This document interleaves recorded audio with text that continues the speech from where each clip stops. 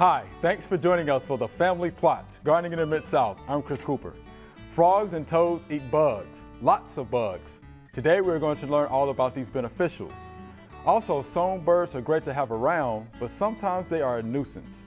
We're going to give some ideas on how to discourage them. That's just ahead on the Family Plot, Gardening in the Mid-South. Production funding for the Family Plot Gardening in the Mid-South is provided by the WKNO Production Fund, the WKNO Endowment Fund, and by viewers like you. Thank you.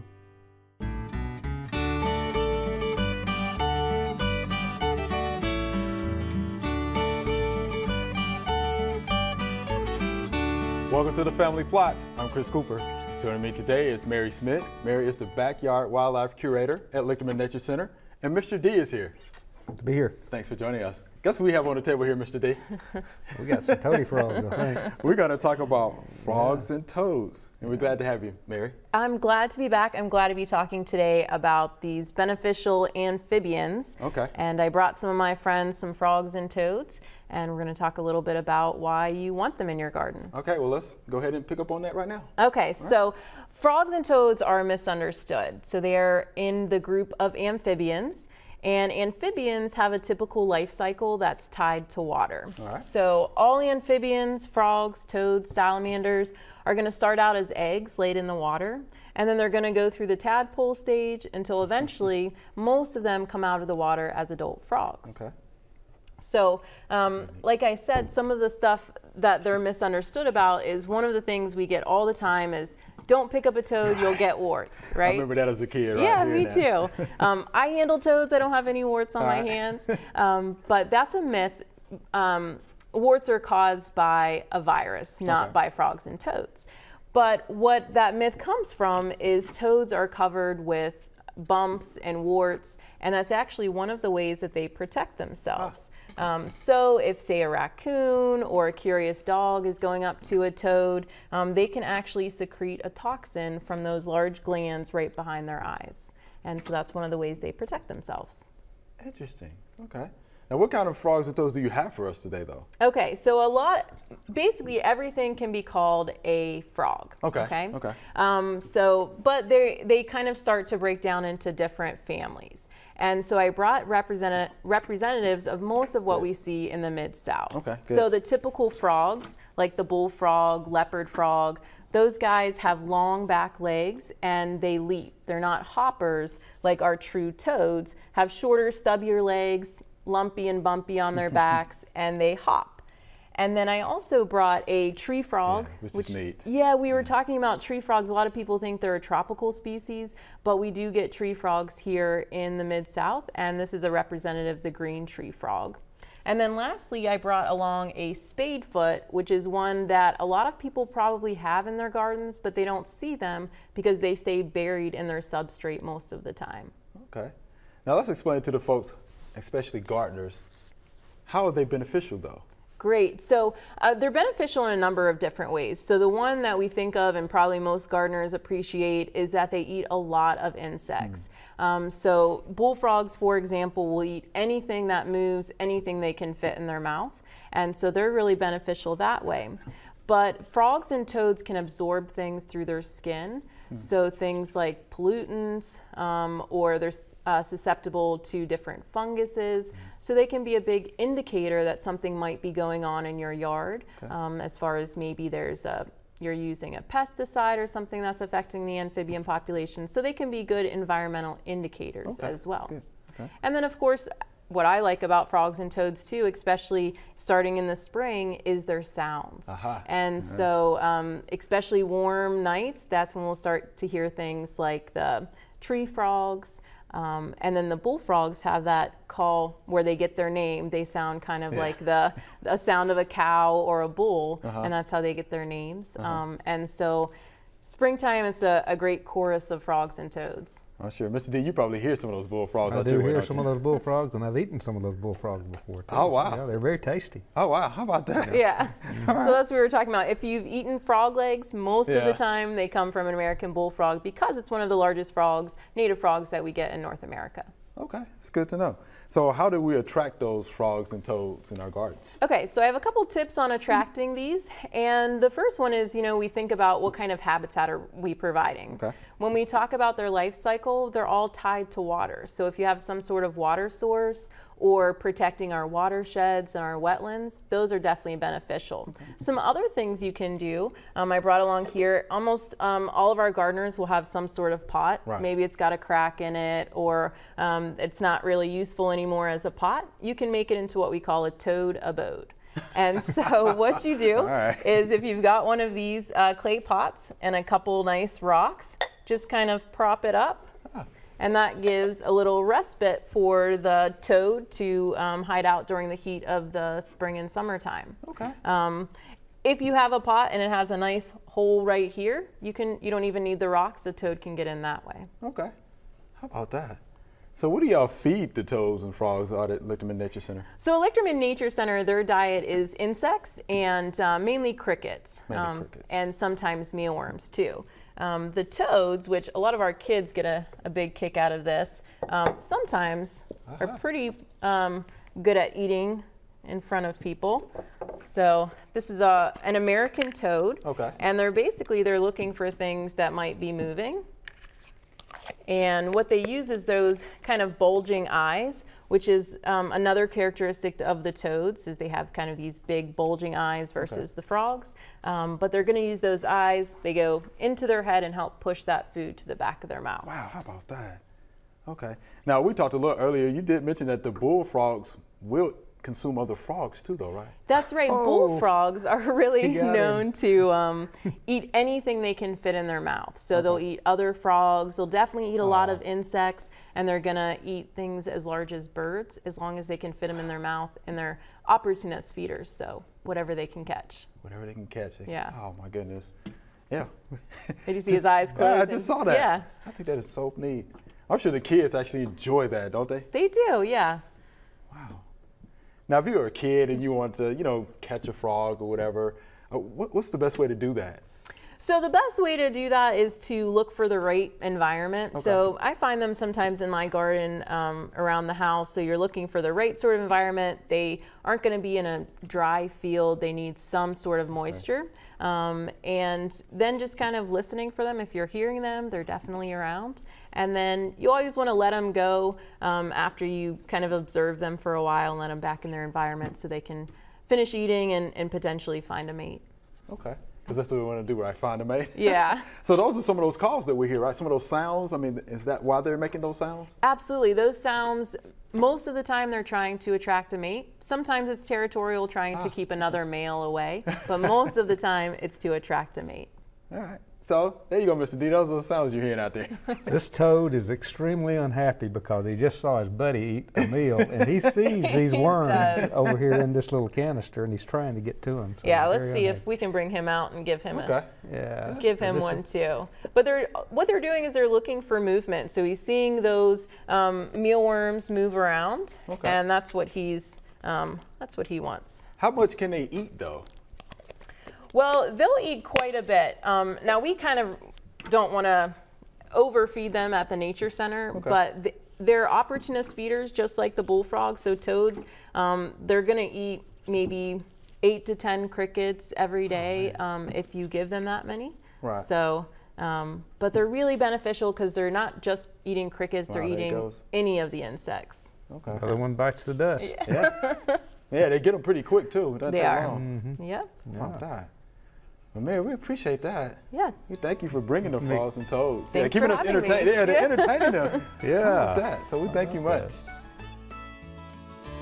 There are a number of gardening events going on in the next couple of weeks. Here are just a few that might interest you.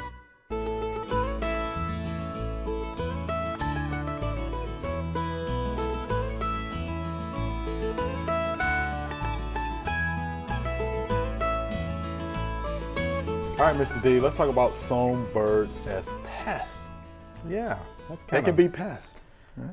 and, and that's kind of, it's kind of bad that sometimes they're pests because we try to attract them. We have bird feeders and, and, and, but, but they can be a pest, especially when you are growing fruit. Hmm. If you, and blueberries, especially, they will, they will completely wipe out your blueberry planting. Unle- uh, so what I try to do is plant enough for me and the birds, and, Sure. and try to beat them to it. You know, I, I try to try to beat them to it. But but there are things that that will give you some relief. Uh, the the the best thing and the only thing that I know of that is pretty much 100% effective is exclusion using bird netting. If you have uh, small enough plants, two or three plants that you can put uh, you know post around and completely cover it with bird netting, a real thin netting, then that will work. But uh, exclusion is the only thing that I know of that will completely work. And one thing you can't do, you can't kill them, you can't shoot them. Yeah, I was going to ask you, You about know, that. you, yeah. uh, songbirds are protected by They're law, protected, and so you, you know the 12-year-old with a 20 gauge shotgun, BB gun, forget it. You can't. Don't work. You can't uh, shoot songbirds. There are other birds that you can that are not classified as songbirds. Uh, some of the blackbirds, cowbirds, uh, are considered pests, and they're not considered songbirds, even though they sing. You know, Oh, but, uh, but some, you know, you need to check local regulations uh, where that's concerned. But exclusion is by far the best way to, to keep them out. If you can, if, if you don't have a very very large planting, a very large planting, uh, then you need to go with. Uh, there, you can use sounds, frightening devices. There are propane cannons that uh, you hook up to a propane tank, and every so often it'll build up pressure, and then it will make a loud noise, exploding noise. Owls, the, the, the plastic owls, you can put them around. Mylar tape, you can that flashes in the sunlight. You can hang that around in different places. Uh, anytime with with all of those, you you have to change it from time to time. Yeah. A radio blaring, uh, especially with country music, you know, uh, we'll, we'll, we'll chase them. We'll, we'll do a pretty good music, job of chasing them off, and you can switch channels. Right. Um, but uh, you've got to, you know, put a radio in a. I, have a radio in a uh, like an outdoor patio storage box Okay. to keep it dry, and and it's pretty effective. Mm-hmm. Um, so. And because the voices change and Yeah, you know you go from the DJ to the and- right. music and all that, and so it's, it's it's not something that they it lasts pretty good because it's not something they get can get used to as easily Yeah, plastic snakes. uh, plastic snakes, uh, any kind around. of predator. Uh, uh, if you can find a plastic red-tailed hawk Huh. uh, that you can set up on a tree, and but the but and then the owl, you know, move them around. Sure. Because if they see it sitting there all the time, they go, right, he's not going to bother me. But but uh, those are all uh, things that you, you, you to be successful, you've got to be persistent and, and you've got to be, use use a lot of different things, you know, uh, diverse and and and um, and then you know you're going to have some damage. You be prepared to tolerate a little bit of damage. Now, what about when they start building nests? How do you go about dealing with them then? The the time the only time that I see nests as a problem is is uh, if they stop up your gutters and things like that. Now have uh, seen swallows. They'll build a mud nest up around yeah. your, your light fixtures in your garage and your carport. That's where the snakes really come in handy. If where the nest is, close to where the nest is, if you will put a good lifelike looking rubber snake, or a live snake for that instance, you know, up there, that will, uh, that, I think that will, they will, they will, they will think twice about doing that again. And I've, I actually, uh, uh, have wrapped a snake around the light fixture that the swallows kept building their nest in, and they didn't, they didn't do that anymore. Of course, you, you have neighbors that, you know, folks, friends that come in, they almost have a heart attack when they look up there and see a snake up there. But uh, it keeps the birds out. Right. But uh, that's probably the best thing for for uh, for a nest. Wherever a nest, I mean, that's a sta- stationary location, and you put something there that scares the bird. Uh, that that should do the trick. Do they uh, any structural damage that you know of that they may? Uh, or woodpeckers, cause? woodpeckers can create can can damage your uh, your if you have a wooden uh, western cedar house or a wooden house. They can get out there and they can they can peck holes in it. And most of the time, what they're doing is a mating ritual. Right. And uh, but but same thing, you know, uh, owl or, or uh, Some you can move around. Yeah, right. some, something to make some noise because they're relatively shy. Uh-huh. You know, uh, woodpeckers are, are shy, but uh, a radio or something like that can. can uh, You like that radio deal? I like the radio deal. I've got to give. with the uh, country music. yeah, yeah. My uh, Dave Keaty gave me that idea when he was successful at keeping raccoons from eating his sweet corn with uh, a radio in his garden. Then Dave, thank you for that idea because uh, I use it all the time. So, yeah, I'm a. I guess I'm a. Yeah. I'm a music fan. He's a music fan. Before we wrap it up, Mary, is there anything that you know you want to add about songbirds, or do you know much about them? Sure, yeah. The only thing I would add is if you're gonna discourage the nesting, do it right when you first start seeing them nest before they start laying eggs, things like that. And it's just like Dee was saying about the um, against the law to kill the birds. You can't really remove those nests either once they have eggs and young in them. So um, get your fake predators out there early. So it has to be done early. Mm-hmm. yep, they are protected. Just remember that. So yeah, you can't shoot them. So we right. definitely want to Okay. You know bring that up again. That's right. All right, we appreciate that information, Mr. D. Good deal.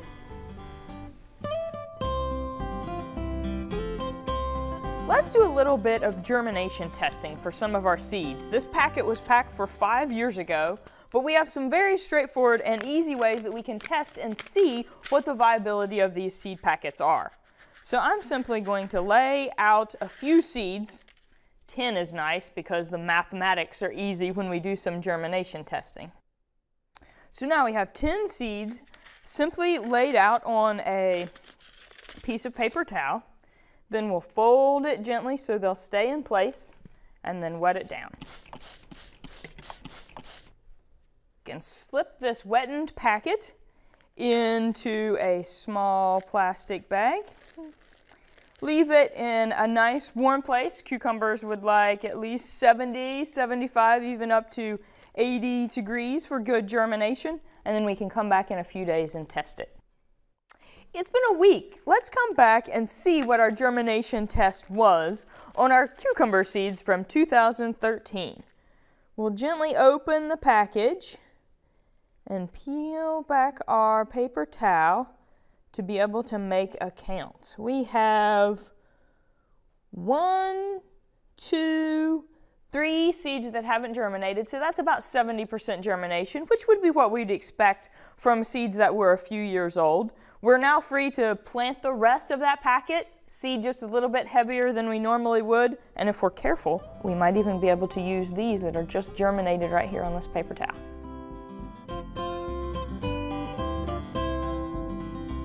All right, here's our Q&A session. Mary, you jump in there and help us out, all right? Okay.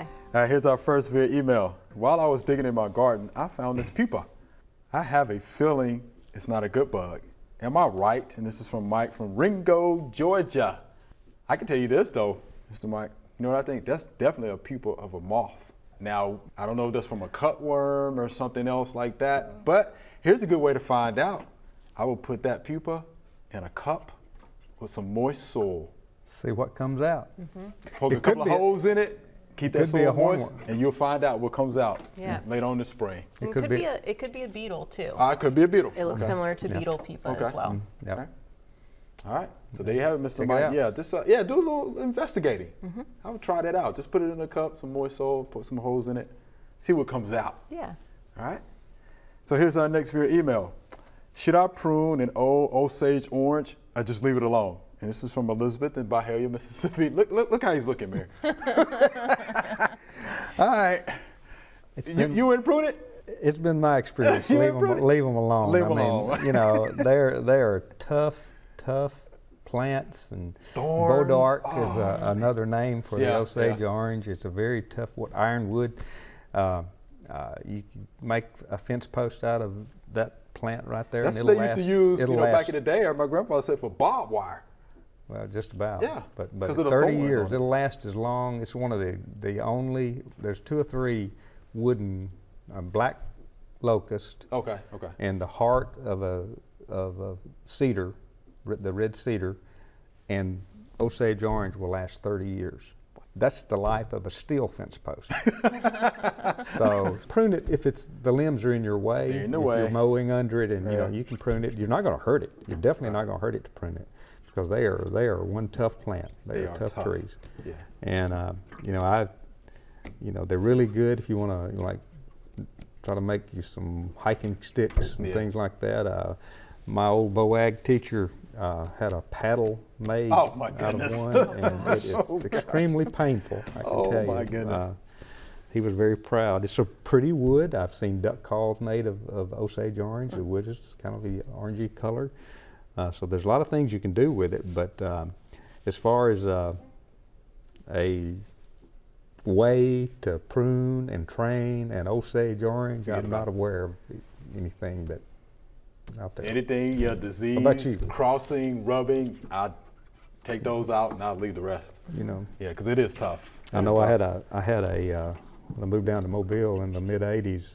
Somebody brought one of the fruit Yeah. into my office and what is this? You know, I found this on the side of the road and you know I knew what Yeah. Osage orange. Sage And, uh, orange. they're very common down in the southern uh, Mm-hmm. part of uh, even southern part of Alabama and Georgia and Mississippi. Mm-hmm.